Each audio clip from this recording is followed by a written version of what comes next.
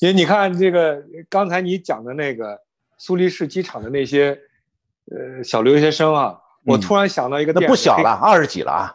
对，嗯，那个突然我想到一个电影，就叫那个《黑客帝国》啊，那个中间的主人公叫尼欧，他在那个虚虚拟世界里头被困在那个地铁站里头了啊，就是也进不了虚拟世界，那个那个曼哈顿那个大城市也回不到那个真实世界。就困在那个地铁站里头，那个地铁地铁站就被一个恶，就是那个地铁的就就是个偷渡嘛，就是被一个恶霸控制的，就不让他上车，他把人得罪了，就不让他上车，就很很困。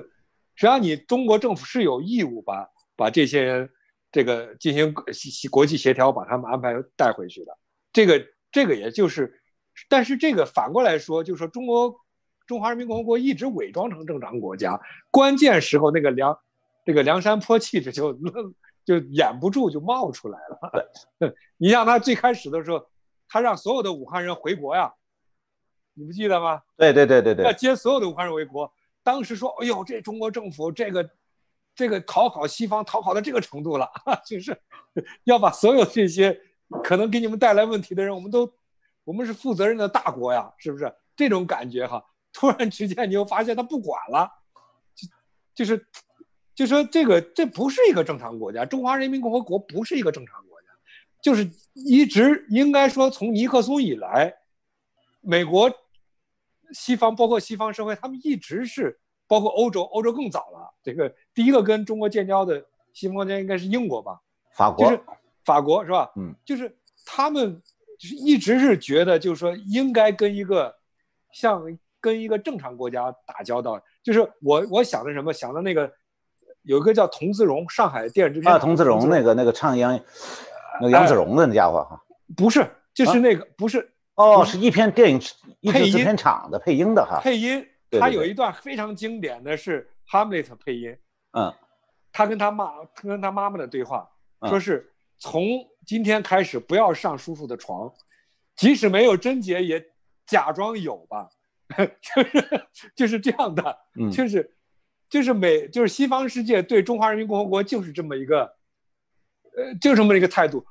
嗯，从今天开始假装是一个正常国家。嗯，我们假装认为你是一个正常国家，你装作是一个正常国家。我们这样走下来吧，有一天你真的就正常了。他们相信这个魔咒希望的力量啊。那么就是就是这个。美国人是哄着他们，认为他们是哄着中国共产党再往这个路上走，再往解体的路上走，再往自由民主路上走。换句话，就解体的路子上走。呃，就像奥巴马说：“哎，他们还不懂事儿嘛，他们还是这个孩子孩子嘛 啊！他们没想到那是老油条、老江湖，梁山坡上那一套东西。你奥巴马也好，卡特也呃，这个这个。”布什父子也好，这个川普也好，你跟他玩那一套，你玩得过他吗？对不对？就是他们是有他们呢，就是说这帮人认为是哄着的孩子慢慢长大就好了，他们认为他是会长会变好的，他的根儿是好的啊。但是这个这个这个预设是完全错的，就像跟金灿跟剑山荣是一个水平，你知道吧？他不敢把这话说破，说破了就觉得这个是没法，这个世界没法走下去了，感觉。但是最后迟早就得走的。对，另外一个共产党也是这样，你想哄着我玩吧，想让我有一天跟前苏联一样，那是我的命运，我才不干呢。但是呢，你既然想玩玩，我也哄着你玩，我就告诉你，有一天我会那样走，你给我时间，给我耐心。我我们你看，朱镕基给人讲什么？我们年轻的时候都参加学运，我们争取民主的，我管国民党这个反动派要民主呢，那。江泽民还能把那个林肯的《格里斯堡的宣言》给你背一通啊，对吧？你看一看怎么样？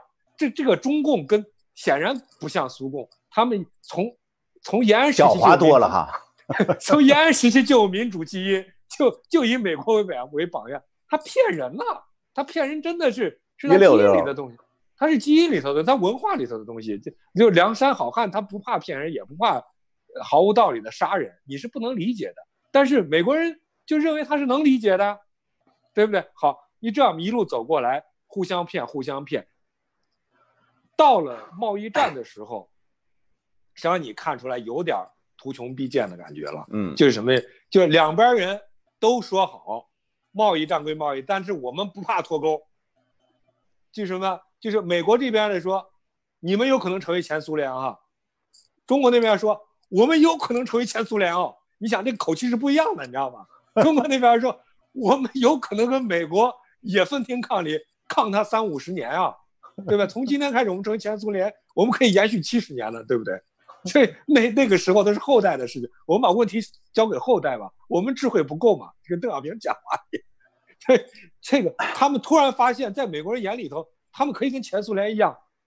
你以为你在表，你以为你在替他担心，你在威胁他，他发现，哦呀，我还有那么牛。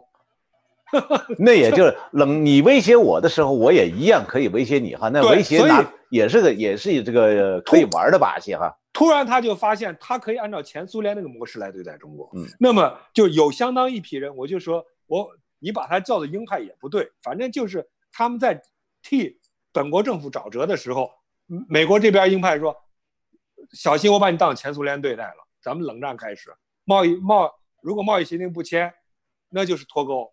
那就是冷战，那中国这么冷战怕什么？三年吃草都不怕，对不对？当然这是个传说了，就是勒紧裤腰带嘛，没什么了不起。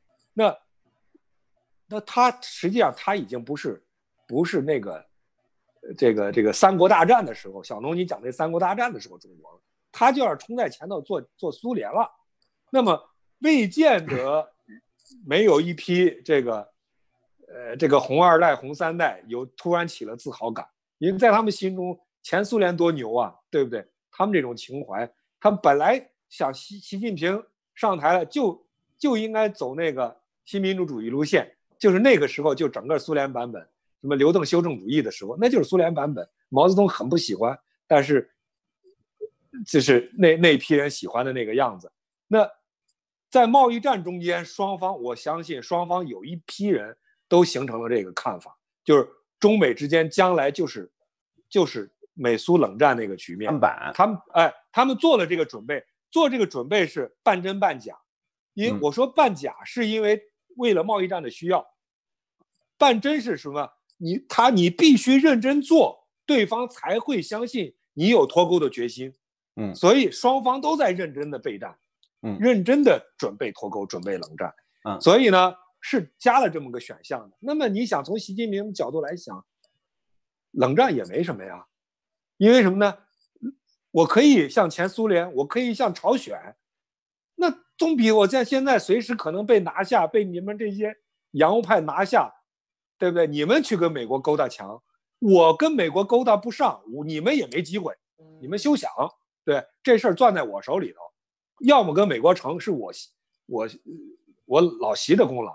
我老大的功劳跟美国不成也是我的决定，跟你们有个毛关系？所以从这个角度上来说，最终两边就是吵着闹着，吵着闹着，这个互相哄的这个局面就没了。对，不哄了，不哄了，就是一旦不哄了，一旦把那个最坏的局面拿出来讨论了，过去可能都是于你你说这话没人听，没人愿意跟你讨论这个问题，讨论着越讨论越清晰，越讨论着啊。这整个蛇鼠一窝，整整苟且了这四十年，都觉得挺亏的。你别说这个，这个美国人觉得亏，我觉得他们这个反省的角度也有意思。实他觉得呀，就这个你你你你这个中华人民共和国政府，你们这中共共产党太不像话了。我对你们那么好，救了你们那么多次，你们竟然这样忘恩负义。但是我我看了以后，我就觉得，我这帮人怎么没有自省能力啊？他们亏待了中国人民啊，很清楚啊。对不对？你都你救了共产党那么多次，你害了中中国人民多少次啊？对不对？那你那你现在终于知道，你跟你不跟中国人民站在一起，你跟中国人站在一起是什么结果了吧？哎呦，咱们对，你你这番话我让我想起来，咱们真得把基辛格要来，啊，好好教训教训这老小子。你你你知道这个结果了吧？但我觉得基辛格没多大责任，他是整个。那个那个老头子，美国人民不愿意，他有什么办法？美国人乐意，还有他的场子嘛？就是就是，我是觉得这整个美国人民是要反省这件事情，最后他们的政客才会反省啊。就是那那那这实际上美国人民是实际上他是他是个大块头，他根本不在意你哄不哄我，对不对？嗯。但是哪一天你真的给他造成威胁了，像莫雷事件，NBA 的莫雷事件，我觉得普通美国人感受到了。嗯。哦，你你竟然能管到我我我这个这个 NBA 的这个一个一个经理在推特上的发言，你都能管到，还逼他删了。这他他他一想，这太可怕了！这个这个中国共产党哪是正常政府啊？你们你们这些政客把我们骗了，他可以这样。当然，政客永远是这样，你得便宜，你回头你得当替罪羊嘛，对不对？美国人民吃香的喝辣的，他突然发现不对了，那你们就是替罪羊，活该嘛！你干的就这事儿嘛，对不对？王就是顶罪的呀，对不对？王你做好了，你就是伟大领袖；做不好，那你就是遗臭万年嘛。至于这个人，可能他也是。他他他从基因上他肯定是个普通人嘛，对不对？就是政治结构上他是需要有这么一个人来替大家顶。中美关系啊，你讲你讲。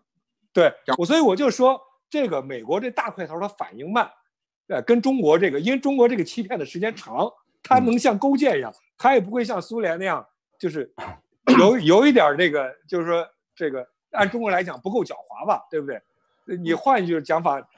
他就比较有德行，就相对这个逼格就就比中共要高嘛。你东欧共产党，这你现在看到了，就你讲的逼格越越低，还有叫做逼低逼格优势。你现在这样讲，就是 这个西欧的共产党逼格高于东欧，东欧的高于苏联，苏联的高于中国，就是这么一个。就是谁占便宜呢？那最低的占便宜，最低的占便宜，但是他能占便宜，实际上他也是就是流氓无产者的那个地位。他觉得他能占便宜，但是你永远你的家起不来，你起不来家，你那个作风就是败家作风，啊，再好的事儿给到你，最后也是个败。办砸。那对，所以你你看着你着急，你像蔡霞那些人很着急很着急，没有用。这个党的本性如此，不是习大大把党祸害了，我觉得是党把习大大祸害了。你想，你你看习大大那个小时候的照。